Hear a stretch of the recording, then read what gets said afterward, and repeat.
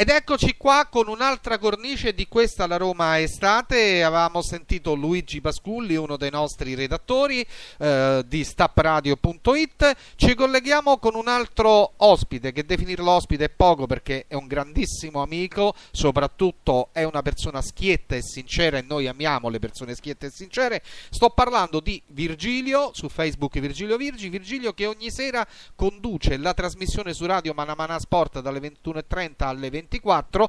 Virgilio, buon pomeriggio.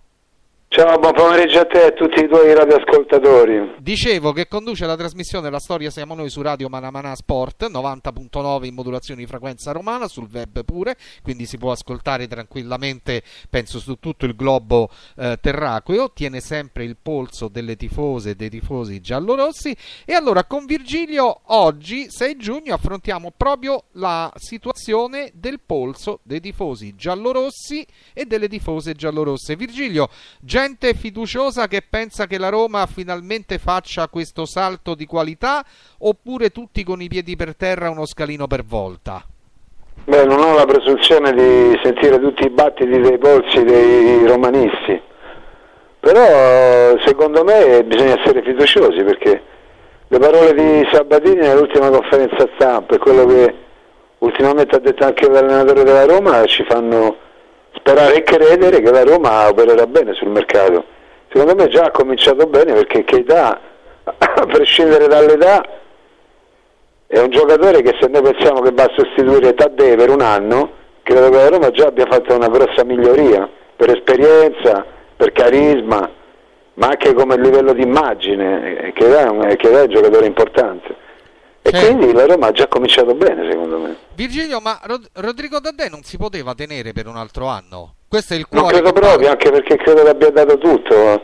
Cioè, ma non si può paragonare Taddei a Keita, stiamo a parlare di due mondi diversi. Questo è vero. Se, se devo rinnovare un anno il contratto a, a, a Taddei a, a 800 mila euro, preferisco prendere un anno Keita a un milione. Cioè, ma stiamo a parlare di due mondi diversi, stiamo parlando di un giocatore che credo che in Europa abbia dimostrato il suo valore.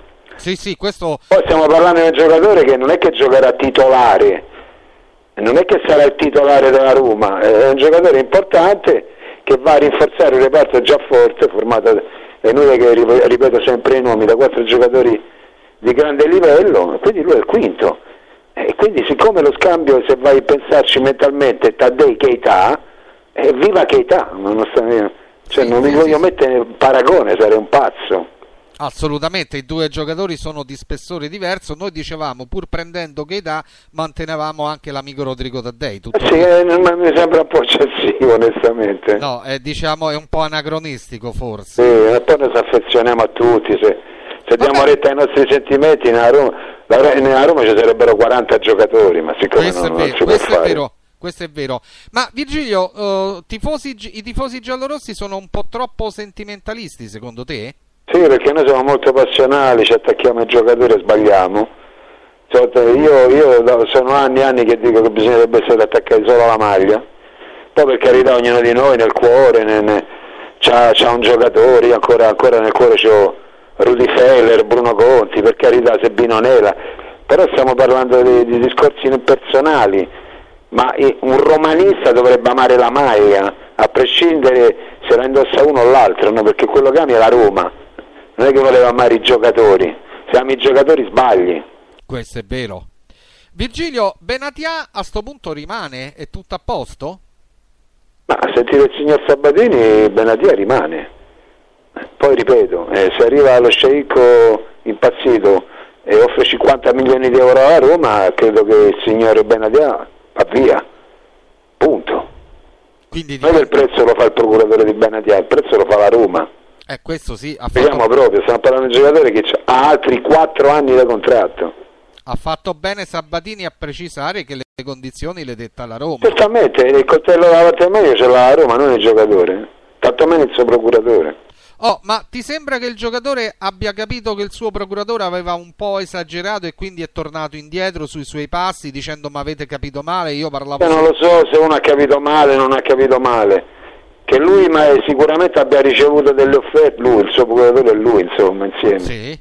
Magari abbiano ricevuto delle offerte superiori contrattualmente parlando a quelle che gli dà la Roma ne sono quasi convinto, ma da questo a poi a tutto quello che è accaduto dopo no, perché fino a prova contraria il giocatore non deve essere contattabile perché è sotto contratto. Eh, se c'è qualcuno interessato a Benatia deve chiamare la Roma, non il procuratore. Certo, poi col procuratore ti ci metti d'accordo in fase successiva. E ci mancherebbe altro, eh, sarebbe troppo facile. Ma il procuratore per caso ha gettato un po' di fumo negli occhi di tutto pur di alzare il prezzo del suo assistito, nel senso pur di avere un aumento contrattuale dalla società E lui ci ha avuto tutti gli aumenti che la Roma gli ha promesso, perché lui contrattualmente quando è arrivato alla Roma eh, gli avevano già detto che se il campionato fosse andato in una maniera, se la Roma entrava in Champions, se la Roma arrivava seconda, BTP e Barabà, avrebbe avuto un aggiustamento di contratto e ce l'ho avuto. Più i bonus, stiamo parlando quasi di un milione di aumento in confronto a quello che prendeva prima, qui stiamo parlando di due milioni e mezzo alla fine. eh. come se Ma fosse... che stiamo a giocare? Io non lo so. Se poi c'è un passo che gli offre 5 milioni, per carità, largo. dà sì. 50 a Roma e se prende Benatia. Sì, è sì, problema? sì, sì, sì. Tant'è vero che Sabatini disse vale 61 milioni. E Sabatini ha voluto un po' esagerare, Certo, nel vabbè, senso ha eh, voluto far capire pa- che non è sul mercato. Era un il prezzo paradosso. soprattutto non lo fa il procuratore, perché 30 milioni di 30 milioni ne ha parlato il suo procuratore di Benatia, non la Roma. E giustamente Sabatini è rimasto picchiato e ha detto vabbè il 30 il piede, il piede sinistro, anzi 30 quello destro e sono 60. Anzi Sì. ha detto 61. Sì, sì, sì, da lì è uscito 61. Ehm, secondo te ci sarà qualche acquisto a sensazione da parte degli La esperti? sensazione se intendi Suarez no. Ecco, quello Pensi che il Real Madrid ha offerto 80 milioni di euro per Suarez? no? Quindi la Roma In si- non è la Roma, in Italia non c'è nessuno che può offrire quei soldi per un giocatore e offrirgli poi un contratto da 9 o 10 milioni di euro puliti all'anno, qui parliamo di soldi puliti, eh. non è la Roma, è il calcio italiano che è questo. Poi fra due o tre anni speriamo che lo se migliorino, che ci sarà già l'inizio dello stadio, allora cambierà anche il budget della Roma. Ma in Italia non ci sono proprietari a livello dei proprietari del Madrid, del Barcellona, del Chelsea o del Paris Saint Germain, quindi di che stiamo a parlare? Esatto, per il Dici prossimo questi grandi top player, questi grandi top player che giocano in Italia, ma chi sono? No, difatti ce ne sono Ce pochissimi. n'erano alcuni fino a due o tre anni fa, poi sono andati via però mi Sono, pare. eh. sono scappati tutti, che ne so. Eh, che allora di che parliamo? Non- non Parliamo stiamo- di un campionato medio-basso, carissimo. Eh, questa è la realtà dei fatti. Ma Che visto- parli di cartellini che possono costare 20-30 milioni è un discorso. Voglio arrivare a 35, facciamo 30. Ma se parliamo di giocatori che sul mercato ne valgono 70, 80, 90, se pensi che belli, per prendere belli hanno offerto 100 milioni di euro. Ma che stiamo a giocare? Sì, difatti non sono... No, ma purtroppo non c'ha gli arabi, non c'ha, non c'ha, non c'ha gli arabi loro. Oh, e invece Perché non l'hanno voluta. per quanto riguarda Jackson Martinez, è un sogno proibito? È soltanto per poter parlare di qualcosa durante il calciomercato? Ne è parlato tanto fino a poco tempo fa, poi non se ne è più parlato. Quindi potrebbe essere un buon segnale. Qui, io credo che meno si parla dei giocatori specifici e più molti di questi hanno la possibilità di venire alla Roma. Credo che Sabatini non dica niente a nessuno, neanche credo ai suoi parenti più stretti, quindi penso se lo dice ai giornalisti o a qualche, qualche ristoratore. Sì, esatto. Sabatini è molto taciturno, ma questa è la sua arma fondamentale. Si Quando parla... è arrivato- scusa, quando è arrivato Strottman alla Roma, no?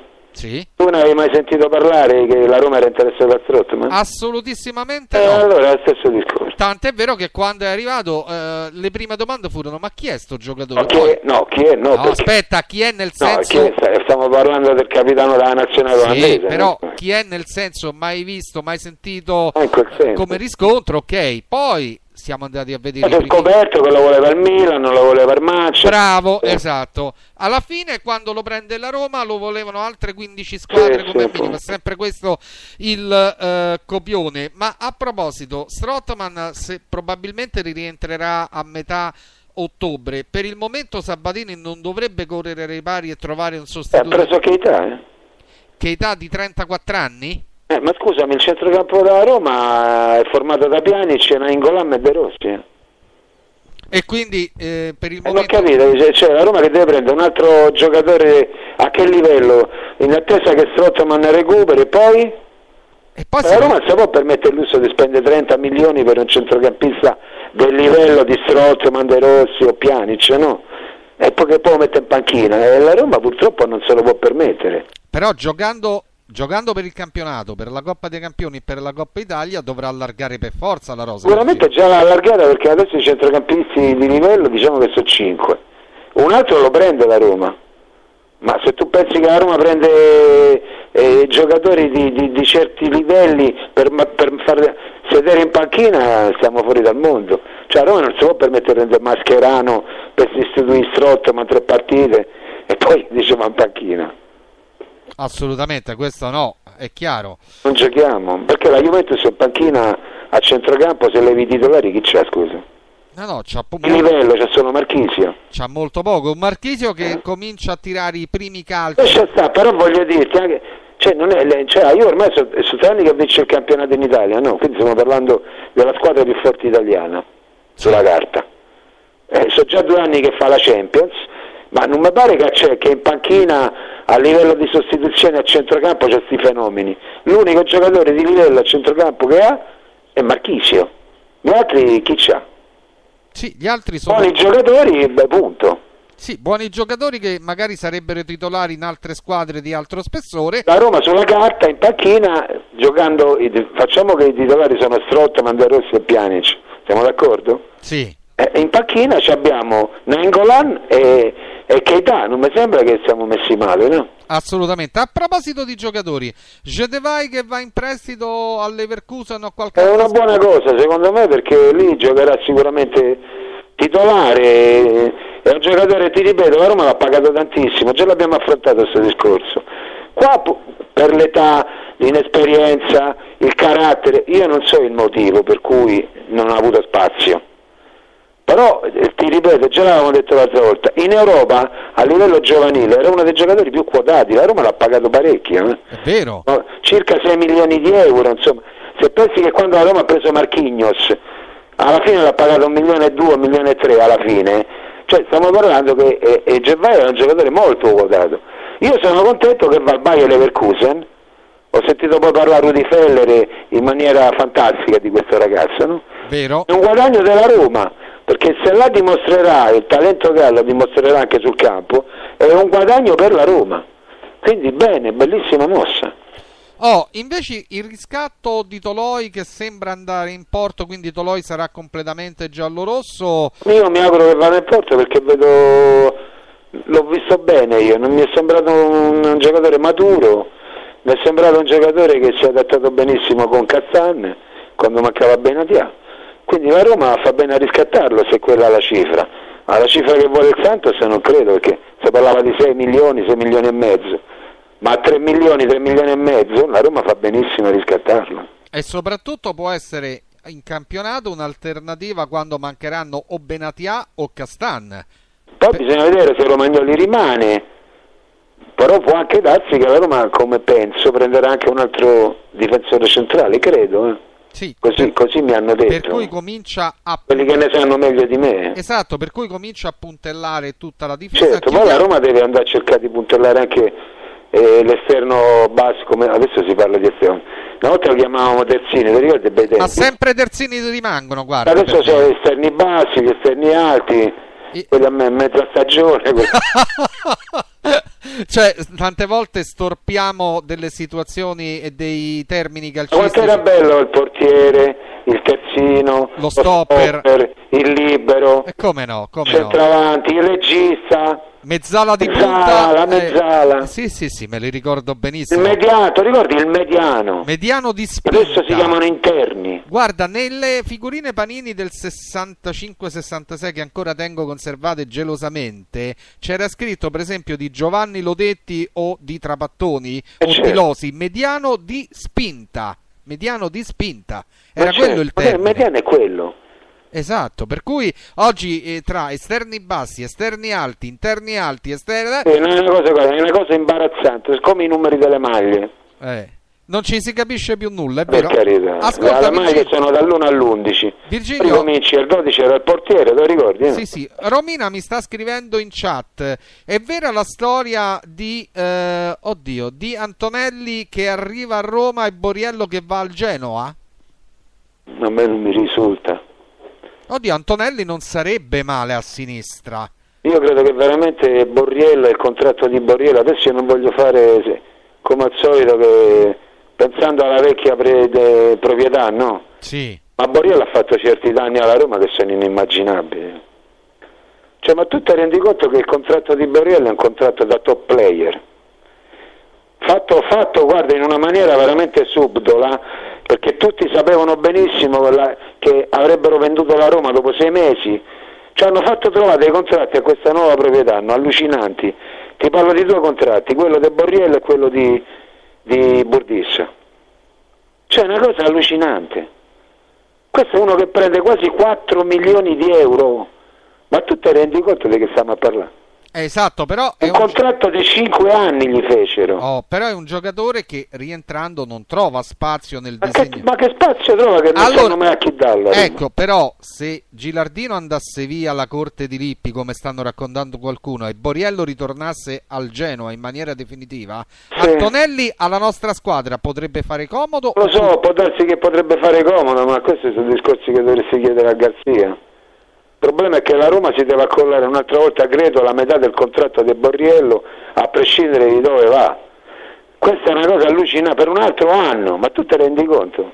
No, no, questo è, ve- Eredità fantastica che ci ha lasciato questa grande famiglia, sì. è verissimo questo. Ma Questi so- lasciamo stare. sono fatti Ti concreti. ricordi i contratti dei 5 anni spalmati a Montella, a Panucci, il contratto che fecero a Perrotta? Come no? A Simone Ti Perrotta. ricordi le cose allucinanti? Sì, sì, sì, ricordo tutto. E questi si sono trovati tutto a sto malloppo, eh? E vabbè, loro sono professionisti eh, pure del dio denaro e chiaramente hanno sfruttato l'onda, eh. No, poi hanno sfruttato anche la benevolenza di chi all'epoca dice ma che me importa, tanto il prossimo anno lo pagano gli altri. Esatto. Eh, Siamo sì. capiti, sì. Sì, sì, sì, ci siamo capiti. male che ci siamo capiti. Ci siamo capiti benissimo. Situazione portieri invece, Virgilio. Ma pare, pare che le- l'operazione ad esempio sia andata bene, non è gravissimo come qualcuno pensava, quindi credo che De Santis ad agosto sarà a disposizione della Roma, non so se continuerà a fare fisioterapia e a settembre, a settembre è arruolato, poi avevamo qualche titubanza sul vice, no? Sì. Perché molti erano titubanti sul, sul giovane polacco, però mi pare che ha dimostrato che in porta ci sa sta. Sì, sì, in porta ci sa stare, poi è chiaro che deve prendere il ritmo partita Certo, però. certo, certo. Perché se gioca una volta ogni morte di papa è normale che abbia delle titubanze che altri portieri giocando di più non hanno, no Lo Virgilio? so, però quelle sono scelte societarie, io credo che De Santi se gioca un altro anno titolare. E poi se la Roma ha puntato su Scheruschi eh, giocherà lui. Quindi possiamo stare tranquilli che se De Santis all'inizio del Stai campionato tranquillo che se la Roma eh, verrà a sapere o gli verrà comunicato eh, dallo staff sanitario, dal professore che l'ha operato, che ci sono dei problemi ulteriori, la Roma troverà un portiere. Ma se la Roma non lo cerca è perché sa benissimo, gli hanno confermato, gli hanno garantito che De Santis è recuperato, se no lo, lo cercano il portiere. È vero, è vero, Mi pare che vanno a giocare il campionato italiano e la Champions con un portiere solo? Lobot ormai fa altre cose. Sì, vabbè, Lobont è sempre pronto come terzo portiere. No, mi- ma fa altre cose proprio all'interno della società. la- gli hanno fatto un contratto perché lui fa un sacco di altre cose. Cura gli allenamenti dei portieri, è uno che comunque fa spogliatoie, uno... cioè gli hanno, gli hanno riconosciuto de- delle, delle- delle attitudini che vanno al di là di fare il terzo portiere. Questo è il discorso. Questo è il discorso. Per quanto riguarda eh, gli attaccanti, lo troveranno mai un alter ego di Francesco Totti? Beh, eh, Francesco Totti non è un giocatore eh, facile da sostituire, anche perché poi è un giocatore un po' così, particolare, no? Perché non è stato mai un regista. Se tu pensi che c'è il 10, no? Non è stato mai un regista, non è stato mai un centravanti, Sì. però è stata una grande via di mezzo. Sì, sì, sì, è vero. Con Spalletti Una volta eh, Platini fece una battuta su Baggio, no? disse è un fantastico 9 e mezzo, ti ricordi la battuta che fece? Come no, era storica. Eh. Ecco, perché noi nel numero 10, noi nel noi antichi soprattutto, no? Il numero 10 ha sempre rappresentato un giocatore un po' diverso, no? Totti invece è stata la giusta, la, la, la, la giusta via di mezzo tra il 9 e il 10. Quindi non è un giocatore facile da sostituire, no? Quindi non lo so, certamente non è che noi dobbiamo pensare che eh, nel prossimo campionato in Champions eh, Totti è il sostituto di destro, perché non, non, credo che sarà così, la Roma deve cercare un'alternativa a destro. Totti è la ciliegina sulla torta, no? Sì, quello che ti può cambiare la partita. Bravo, però lo devi prendere a piccole dosi, non puoi pensare che gioca 45 partite, è tutto qua. Felice, questo discorso l'abbiamo eh, sempre fatto. Felice ci sta scrivendo un grande abbraccio a Virgilio, condivido tutto quello che dice, ma con un attacco stellare con i turbe cerci sulle fasce e un centravanti degno di questo nome saranno dolori per tutte le altre difese del campionato. Insomma, lui è Gervigno dove lo mette? Eh, Gervigno farà parte dei 14-15. lo mette in panchina. Vabbè, ma se tu ma guarda che se prendono Cerci e Turbe siamo tutti contenti, non è una battuta. Eh, Virgilio, però se tu avessi Cerci, i Turbe e Cervigno, eh beh, sinceramente hai una gamma di scelte e di alternative. Se tu ci avessi Gervigno, i Turbe, Cerci e Destro, Totti non gioca più. Vabbè, ma è anche giusto che Totti... No, siccome invece molti ancora danno per scontato che Totti è il vice destro, sì. che io questo poi sento e vedo anche dai, come si chiamano questi siti, blog fantastici, come lo chiedi? C'è quel termine molto anglosassone che non mi viene mai a me, i social network, no? Sì. Ancora danno in alternativa a destro Totti, addirittura qualcuno mette ancora Totti e mette in alternativa a destro, e mettiamoci tutti d'accordo però, eh? perché poi se no non ne usciamo più da questo discorso. Beh, non ne usciamo più anche perché eh, guai a chi tocca Francesco Dotti, però bisogna vedere... Ma che bene, guai a chi, ma io non glielo voglio toccare a eh. nessuno però se siamo razionali e ben pensanti, eh, poi i conti, i conti sono quelli. Eh, la Roma se prende i Turbo e Cecci fa un grande salto di qualità, però se pensi che c'è pure Florenzi, c'è pure Gervigno, c'è bene. pure Destro, eh, Totti quando gioca? Mai. Oh, eh, secondo Mauro di tutti gli anni si mettessero d'accordo è tutto oh, qua il discorso secondo, ma, secondo, Mauro di Largo Preneste che ti saluta e ti segue quasi tutte le sere su Radio, su Radio Manamanà vedi come eh, cominciano ad affiorare tutti gli amici e amiche Destro sarà ceduto per, dietro una grande offerta e sarà preso un centravanti migliore e chi la fa questa grande offerta? Ah, non lo so. Eh. Ah, scusa, mi pare che hanno preso il capocannoniere italiano a 20 milioni di euro. Quindi adesso quanti ne vale? Eh, è giusto. E qual è questa grande offerta? Oh, che poi il capo Hanno retta ai pifferai del mondo eh. di internet che sparano 20, 30, 40, 50. Ma di che? Esatto, però poi capocannoniere italiano che è stato svenduto all'estero. Svenduto non lo so, evidentemente il prezzo del mercato era quello, se no l'avrebbero dato a qualcun altro.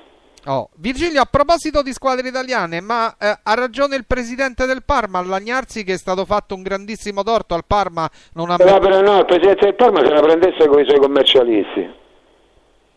Eh, perché il presidente... Io non dico che è colpa sua. Sì. Ma evidentemente qualcuno ha, si è dimenticato di pagare qualche cosa. Oh, ma di solito... E poi lui è arrabbiato perché evidentemente il problema, lui, il problema suo e del Parma l'ha portato in visione a grandi papaveri della Federazione Italiana Gioco Calcio che gli hanno garantito, non ti preoccupare, eh, stai nel giusto, eh, ci pensiamo noi, e te tuteliamo noi, BDB e Badabà, è un altro discorso, lui infatti era molto avvelenato quel palazzo. Però lui prima di tutto se la prendesse con i commercialisti che si sono dimenticati evidentemente di pagare qualche cosa. Oh, ma o me sbaglio? No, no, ma secondo il Presidente, almeno questo si deduce tra le righe, eh, dice sì, ho pagato in ritardo, chiaramente mi dai una multa perché è giusto che io pago questa... Eh, le normative UEFA non parlano di multe. Parlano di esclusione però. Evidentemente, ti ripeto, e lui è molto avvelenato per questo, l'abete Pino Silvestre Vidal, come lo chiamo io, o altri papaveri del, del CONI, della federazione, gli avranno fatto delle promesse che non sono riusciti a mantenere.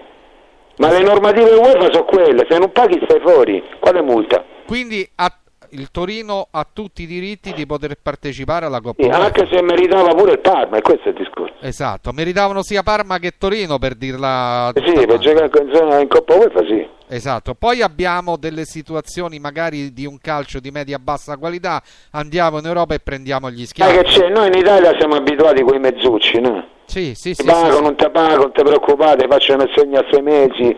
Vabbè, mo famo così e famo così. In Europa evidentemente non è così. No, in Europa non si sgari, lì stai fuori. In Europa non si scherza, tant'è vero che ci sta scrivendo Simone. Tra un po' parlerete di mondiali. Guarda, giro subito la pagina e rivolgo la prima domanda. Visto la fallosità di due difensori come Bonucci e Chiellini, to, ho presi due a caso. eh, ai mondiali li prenderanno qualche cartellino rosso sti due oppure no, secondo te? Beh, se vogliamo bene all'Italia dovremmo augurarci di no, però Eh. rischiano, soprattutto Chiellini che è abituato a giocare qua in un modo. Ma in Europa come gioca lui ti ammoniscono facile. eh. Eh sì, sì, sì. Quindi sì. gli piace giocare con i comodi alti, gli piace giocare con le braccia larghe, gli piace ti- mettere le mani addosso, in Europa non si può fare. E nei mondiali In cal- Europa, lo- cioè, eh, in Europa il contatto, il tackle duro lo possono anche eh, sopportare e capire, no? Sì. Però i mezzucci, quello che tira la maglia, quello che ti mette le mani in faccia, quello che alza il gomito, eh, no, lì non va bene in Europa, quindi lui- loro rischiano. Esatto. E a proposito di nazionale, Pepito Rossi e Mattia Destro, ma sono stati trattati a pesci in faccia dal mister della Sono due nostra... casi diversi però, Perché? Perché secondo me Rossi non era pronto. E allora che l'hai convocato a Beh, fare? ecco, bravo, il problema è quello, perché l'hai convocato? C'è Rossi che dice mi ha illuso convocandomi, allora se io non sto bene mi Però eh, ho capito, adesso sai, che, sai qua dove nascono i, i dilemmi? Eh, Che Prandelli non è chiaro, è ambiguo. Cioè Prandelli è un furbacchione che vuole dare i resti soprattutto alle società potenti, no? Non si vuole inimicare nessuno, è il furbetto della parrocchia, perché se fosse stato più chiaro, più limpido, anche con destro, no? Dice io ti ho convocato perché il campionato italiano tu sei permesso a fare i, fare i 30, però non rientri nei miei piani tattici, tecnici, no? Sì. Quindi vai a casa. Credo che sarebbe stato più onesto. certo, sì sì. Eh, sul fatto dei Rossi, uguale, è stato ambiguo pure là. Perché evidentemente, ma ti pare a te che il- un selezionatore, allenatore della nazionale, non sa quali sono le condizioni fisiche prima che convoca un giocatore? Penso non c'ha i referti della società di appartenenza, oppure fagli un check-up prima che lo convochi. Cioè, l'ambiguità, io quello che non mi piace dei Prandelli è che è ambiguo. È vero. Ci sta scrivendo Alessandra, eh, ma il fatto che fa giocare Balotelli centravanti non è uno scandalo, visto che Balotelli quando gioca all'ala sa pizzicare anche i cross per i compagni che fanno gol. Sì, ma il fatto è che non gioca centravanti. Ma chi gioca centravanti in questa... Nessuno. Come nessuno? La Roma, eh, beh, perché a nazionale sono centravanti di ruolo? Me ne dici uno? No, non c'è. Infatti non c'è, c'è un L'unico fa... che c'era ha mandato a casa era destro. Oh, ma a quel punto non doveva prendere un altro... Cioè, quando si fanno Cioè, delle... il centra- la, la nazionale, la, la nazionale italiana da sempre c'ha avuto un centravanti d'aria. Da sempre. Cioè, per capirci, così ci capiamo tutti, il Tony della situazione. no? Mi dici che è il Tony dell'Italia? Sicuramente con dieci anni di meno. Nessuno per- Immobile è più uno che gioca esterno che centrale. Insigne uguale. Modelli è uno che gioca più esterno che centrale.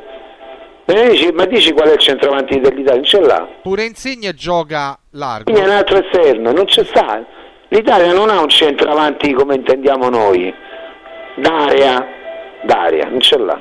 Oh, Guarda come gioca immobile nel Torino. secondo Marisa, Prandelli vuol giocare con il falso centravanti alla Spalletti tanto per Ma capire. Balotelli è un furbacchione, vuole giocare contropiede, tutti arroccati e palla lunga per i Balotelli. Dici? Sì, sì. Ma così dove rischiamo di andare a casa? Ma non lo so perché poi l'Italia c'è una tradizione eh, ai mondiali che poi alla fine ti rifodderà fa arriva. È una squadra speculatrice, è una squadra difficile da battere comunque. Non è facile giocare contro l'Italia.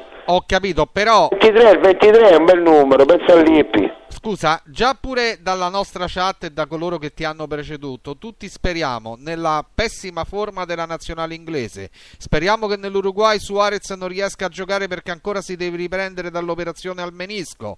Eh, il Costa Rica magari se lo sai prendere con 1-0 lo mandi a Però casa. scusami, l'Italia quando è mai partita, quando è mai partita l'Italia eh, favorita per vincere il mondiale?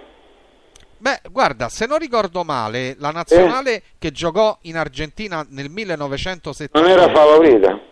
non era favorita, ma cominciò a giocare tutte le partite. Guarda, la nazionale che era data per, fra le prime quattro sicuramente era quella del 70, ma c'era una squadra di, di- di- di- di grandi giocatori, no? quella del 70, che arriva in finale col Brasile. Sì, sì, è vero. Eh, poi la grande nazionale era quella dell'82, secondo me è stata in assoluto con quella del 70 la più forte di tutti. Nel 78 fummo sfavoriti perché due tiri da fuori dell'Olanda ci mandarono a Però sulla carta non è che noi eravamo favoriti per vincere il mondiale. Poi un'altra squadra che era una buona squadra, non una grandissima squadra, però eravamo i favoriti del pronostico perché giocavamo in Italia e quella del 90. Ma Eh. dopo, quando mai siamo stati favoriti noi per vincere i mondiali? Assolutamente no, pure quando li vinse Lippi fu una sorpresa. Il 23? Ti ho risposto. Eh sì, il ve- eh vabbè, ma si gioca anche col 23, no? No, ma lui ha giocato soprattutto col 23. Ma te, oh, ma te ricordi come siamo arrivati in finale? È vero. Allora, senti, senti quest'altro. Lorenzo, Lorenzo eh, ti manda un grandissimo abbraccio. eh, sei la luce sportiva. Eh, la luce di che? Eh, vabbè, non lo so, se parli di Roma sarai la luce della Roma, chiaramente, no? Ah no, no, la luce Oh. da Roma sono i giocatori. Allora, Lorenzo vuole sapere da noi, in particolare da te, Ranocchia, Barzagli, Bonucci e Chiellini, tutti e quattro a casa e ne prendiamo altri quattro, ma ormai non si può più fare. Ma mi dovete spiegare in Italia giocatori italiani più forti di quelli, non ne vedo molti onestamente io. A Stori del Cagliari? Sì, vabbè, ma siamo a quei livelli, come, come, come, come l'altro del Parma che mi sfugge il nome. Come... Paletta.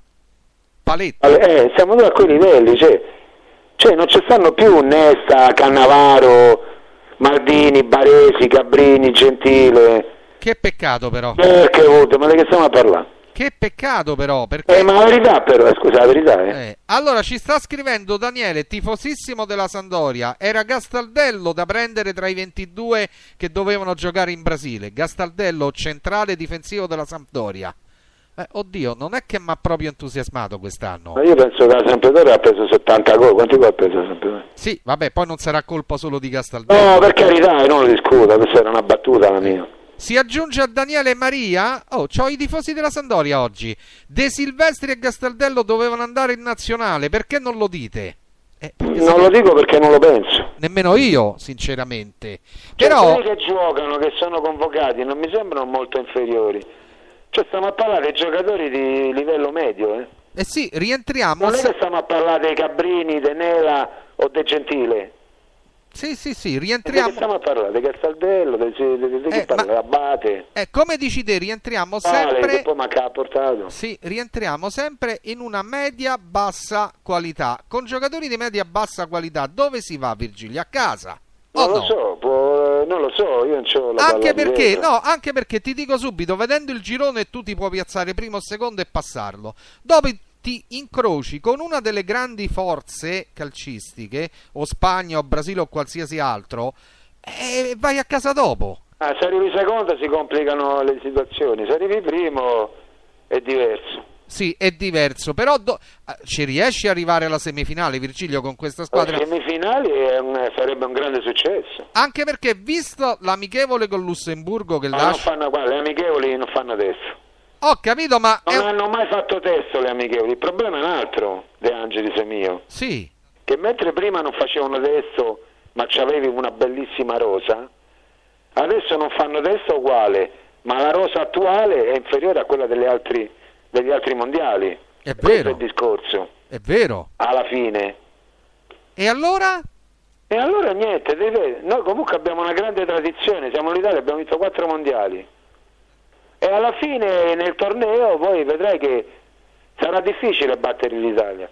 Non dico che vince le partite, ma battere l'Italia sarà difficile. Ma si va a casa anche pareggiando comunque. Sono eh? d'accordo con te. Eh, Allora usciremo a testa alta praticamente, magari con tre pareggi ce ne andiamo a casa.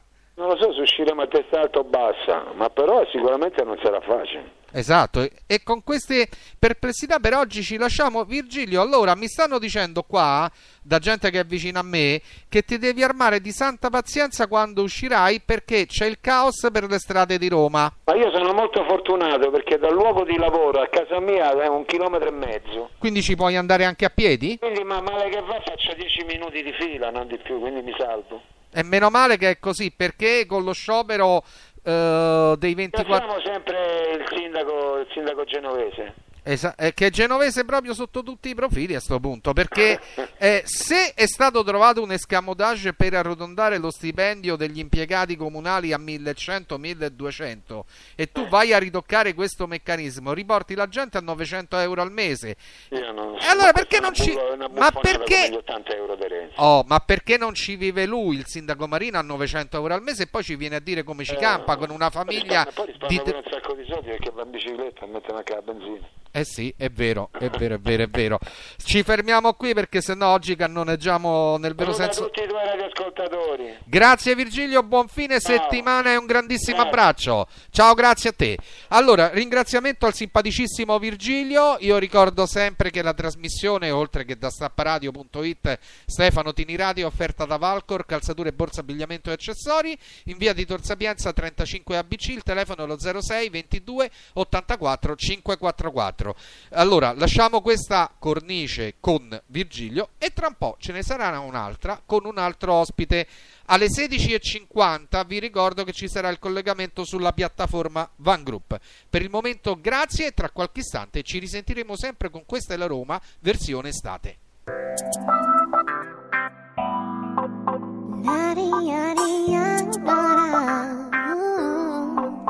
Non si può, non si può. Maria.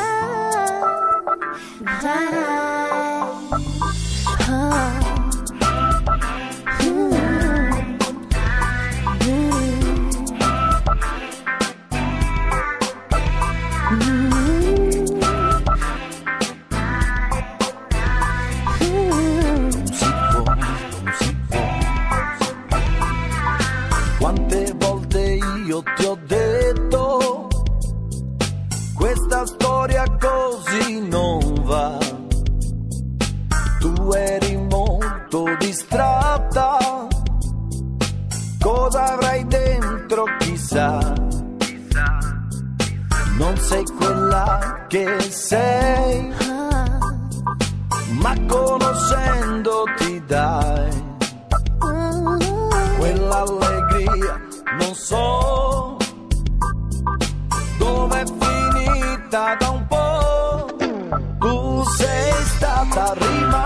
sarai qualcosa da amare. Quella gioia che ho dentro di me ti vorrei donare. non lasciarmi mai perché non c'è nulla dentro di noi